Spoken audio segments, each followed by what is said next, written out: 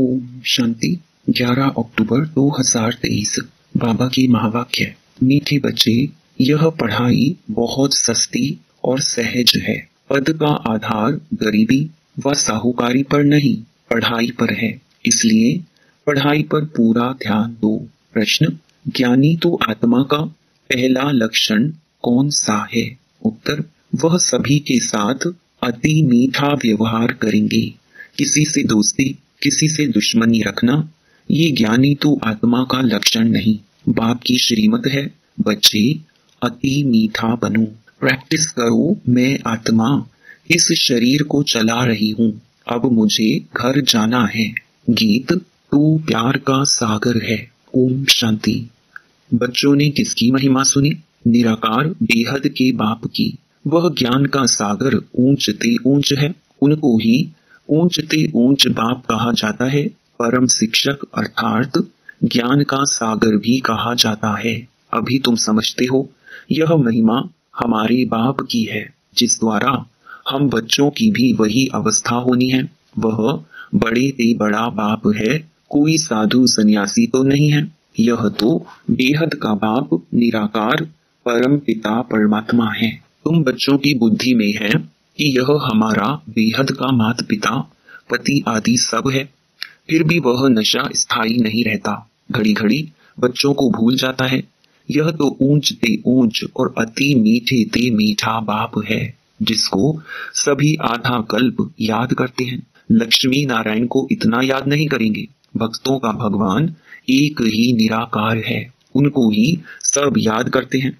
भल कोई लक्ष्मी नारायण को कोई गणेश आदि को मानने वाले होंगे, फिर भी मुख से, हे भगवान, शब्द ही निकलेगा। हे परमात्मा, अक्षर, ज़रूर सबके मुख से निकलता है। आत्मा उनको याद करती है, जिस्मानी भक्त, जिस्मानी चीज़ को याद करते हैं तो भी आत्मा इतनी पिताव्रता है, जो अपने बाप को ज़रूर याद करती है। दुख में छठ आवाज़ निकलता है, हे परमात्मा, यह ज़रूर समझते हैं कि वह परमात्मा निराकार है, परंतु उनका महत्व नहीं जानते। अभी तुम महत्व को जानते हो कि वह तो अब हमारे सम्मुख आई हैं। वह है स्वर्ग का रचयिता। हमको सम्मुख पढ़ा रहे हैं। यह एक ही पढ़ाई है। वह जिस्मानी पढ़ाइयाँ तो भिन्न भिन्न प्रकार की होती हैं। कोई का मन पढ़ाई में नहीं लगता है तो छोड़ भी देते हैं। यहाँ, इस पढ़ाई में पैसे आदि की कोई बात नहीं। वह गवर्नमेंट भी गरीबों को फ्री पढ़ाती है। यहाँ तो है ही मुफ़्त में पढ़ाई फ़ीस कुछ भी नहीं। बाप को गरीब निवास कहा जाता है, गरीब ही पढ़ते हैं। यह है बहुत सहज और सस्ती पढ़ाई। मनुष्य अपने को इंश्योर भी करते हैं। यहाँ भी तुम इंश्योर करते हो, कहते हो, बाबा, आप हमें स्वर्ग में 21 जन्मों का ईवजा देना। भक्ति मार्ग में ऐसे नहीं कहते। कि हे परम पिता परमात्मा, हमको 21 जन्म लिए वर्षा दो। यह तुम अभी जानते हो, हम डायरेक्ट अपने को इंश्योर करते हैं। यह तो हमेशा कहते हैं, फल देने वाला ईश्वर है, सबको ईश्वर ही देते हैं।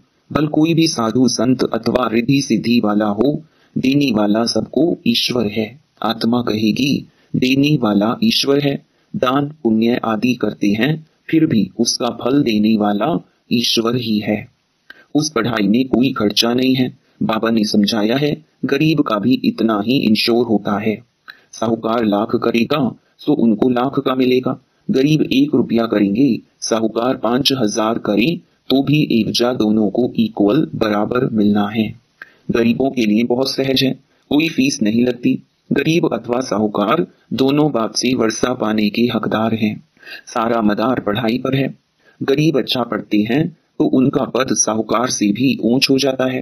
पढ़ाई ही कमाई है, बड़ी सस्ती और सहज पढ़ाई है। सिर्फ़ इस मनुष्य सृष्टि झाड़ के आदि मध्य अंत को जानना है, जिसको कोई भी मनुष्य मात्र जानता नहीं है।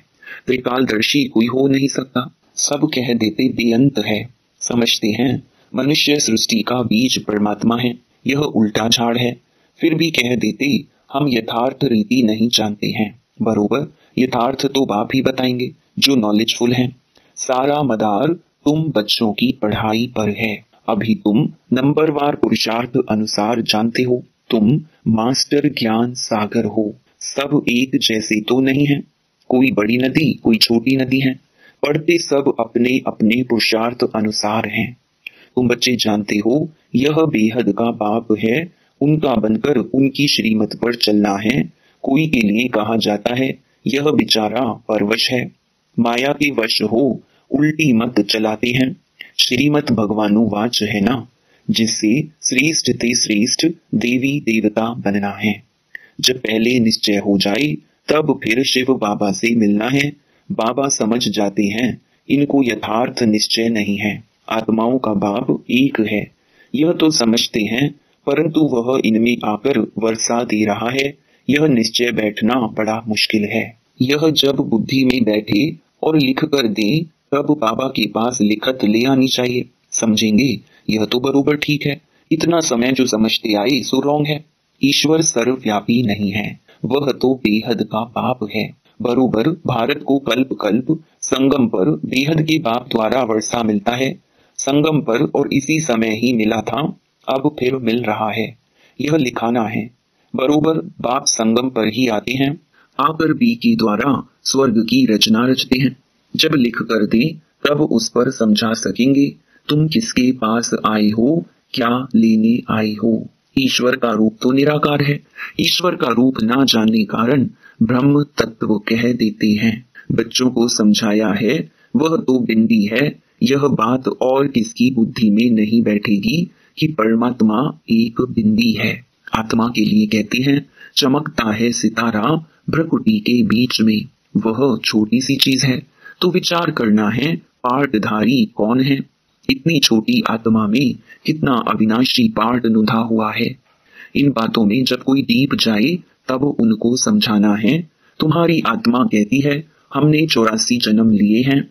वह सारा पार्ट छोटी सी बिंदी रूप आत्मा में मर्ज है। जो फिर इमर्ज होता है। इस बात से मनुष्य वंडर खाएँगे। यह बात तो कोई समझती नहीं। चौरासी जन्म हमारे रिपीट होते हैं। यह बना बनाया ड्रामा है। आत्मा में कैसी पार्ट नुंधा हुआ है, सुनकर मनुष्य वंडर खाएँगे। बरोबर, मैं आत्मा कहती हूँ, हम आत्मा एक शरीर छोड़ दूसरा लेती हूँ। यह हमारा पार्ट नुंधा हुआ है, जो ड्रामा अनुसार रिपीट होता है। ये बातें कमज़ोर बुद्धि वाले कभी धारण कर ना सके। यह सिमरन करना है, हम चौरासी जन्म ले पार्ट बजाता हूँ, शरीर धारण करता हूँ, जब यह सिमरन चलता रहे, तब कहीं यह पूरा त्रिकालदर्शी है, और दूसरे को भी त्रिकालदर्शी बनाने का पुरुषार्थ कर रही है। समझाने की भी बच्चों में हिम्मत चाहिए अंधों की लाठी बन नींद से सुजाग करना है। जाग सजनिया, अब नई दुनिया स्थापन होती है पुरानी दुनिया का विनाश हो रहा है। तुमने त्रिमूर्ति ब्रह्मा, विष्णु, शंकर नाम नहीं सुना है। ब्रह्मा द्वारा स्थापना होती है। ये सब ब्रह्मा कुमार कुमारियाँ है ना? अकेले ब्रह्मा तो नहीं करेंगे। प्रजापिता के साथ ज़रूर ब्रह्मा कुमार कुमारियाँ होंगे। इनका बाप भी ज़रूर होगा, जो इनको सिखलाने वाला है। इन ब्रह्मा को तो ज्ञान सागर नहीं कहेंगे। ब्रह्मा के हाथ में शास्त्र दिखाते हैं, परंतु परम पिता परमात्मा इनमें आकर इन द्वारा सभी वेदों शास्त्रों का सार बताती हैं। ब्रह्मा शास्त्रों का सार नहीं सुनाते, वह कहाँ से सीखे? उनका कोई भी बाप व गुरु होगा ना? प्रजापिता तो ज़रूर मनुष्य होगा और यहाँ ही होगा। वह ठहरा प्रजा को रचने वाला। उनको क्रिएटर ज्ञान सागर नॉलेजफुल नहीं कह सकते। ज्ञान सागर परम पिता परमात्मा ही है। वह आकर प्रजापिता ब्रह्मा द्वारा पढ़ाते हैं। इसको ज्ञान का कलश कहा जाता है। ये सारा मदार धारणा पर है। इंश्योर करो, ना करो, यह तुम्हारे ऊपर है। बाबा तो बहुत अच्छी रीति इंश्योर करते हैं। इंश्योरेंस मैग्नेट है। भक्ति मार्ग में भी तो ज्ञान मार्ग में भी। बाप को सब आत्माएँ भक्ति मार्ग में याद करती हैं कि बाबा, आकर हमको दुख से छुड़ाओ। बाप वर्षा देंगे, या तो शांति धाम या तो सुख धाम भेज देंगे। जिनको शांति का वर्षा मिलना है तो कल्प कल्प, वही शांति का वर्षा लेंगे। तुम अब पुरुषार्थ कर रहे हो, सुख का वर्षा लेने के लिए। इसमें पढ़ना है और फिर पढ़ाना है। जैसे बाप मीठे ते मीठा है, वैसे उनकी रचना भी मीठे ते मीठी है। स्वर्ग कितना मीठा है, स्वर्ग नाम तो सब मुख से लेते रहते हैं। कोई भी मरता है तो कहते हैं स्वर्गवासी हुआ। तो ज़रूर नर्क में था, अब स्वर्ग में गया। जाता नहीं है तो भी कहते हैं, तुमको लिखना चाहिए, ज़रूर हेल में था ना यह हेल है, फिर उनको यहाँ मंगाने की, खिलाने की क्यों कोशिश करते हैं? पित्र बुलाते हैं ना। आत्मा को बुलाना, यह है पित्र को बुलाना। तुम फिर सभी पितरों के बाप को बुलाते हो। सभी आत्माओं का बाप बैठ तुमको पढ़ाते हैं। तुम कितनी गुप्त सेना हो, शिव शक्तियाँ। शिव तो निराकार है ना। तुम शक्तियाँ हो उनके बच्चे। शक्ति आत्मा में आती है। मनुष्य जिस्मानी शक्ति दिखलाते हैं, तुम रूहानी शक्ति दिखलाते हो। तुम्हारा है योग बल। योग रखने से तुम्हारी आत्मा पवित्र होती है। आत्मा में जोहर आता है। तुम्हारे में मम्मा की ज्ञान तलवार सबसे तीखी है। यह कोई स्थूल कटारी व तलवार की बात नहीं है। आत्मा को समझ है कि मेरे में ज्ञान शंख ध्वनि करने की अच्छी ताकत है। हम शंख ध्वनि कर सकते हैं। कोई कहते हैं, मैं शंख ध्वनि नहीं कर सकती हूँ। बाप कहते हैं, ज्ञान की शंख ध्वनि करने वाले मुझे अति प्रिय हैं। मेरा परिचय भी ज्ञान से देंगे ना। बेहद के बाप को याद करो, यह भी ज्ञान दिया ना। बाप को याद करना है, इसमें मुख से कुछ बोलना नहीं है। अंदर में समझना है, बाप हमको नॉलेज दे रहे हैं।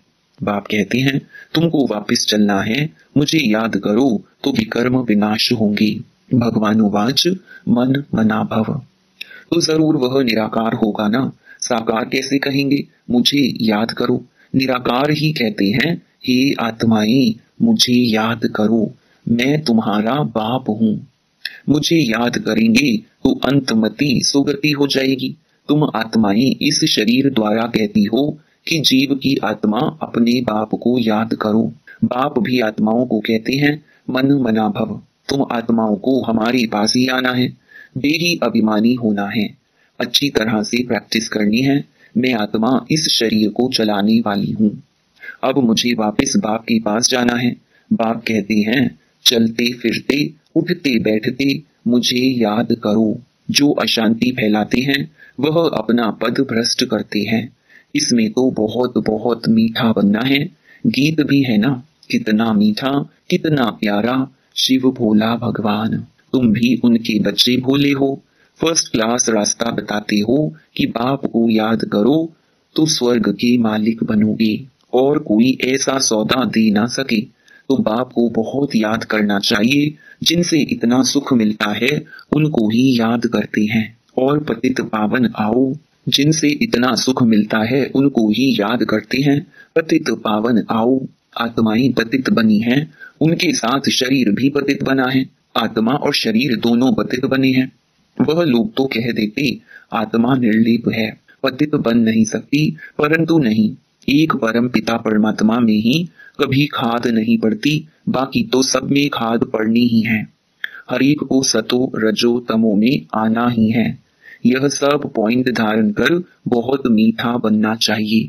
ऐसे नहीं कि कोई से दुश्मनी, कोई से दोस्ती देह अभिमान में आकर यहाँ ही बैठ, कोई से सर्विस लेना बिल्कुल रॉन्ग है। अच्छा मीठे मीठे, सिकिलधे बच्चों प्रति माता पिता बाप, दादा का याद प्यार और गुड मॉर्निंग रूहानी बाप की, रूहानी बच्चों को नमस्ते। धारणा के लिए मुख्य सार। पहला, ज्ञान का सिमरण कर, त्रिकालदर्शी बनना और बनाना है।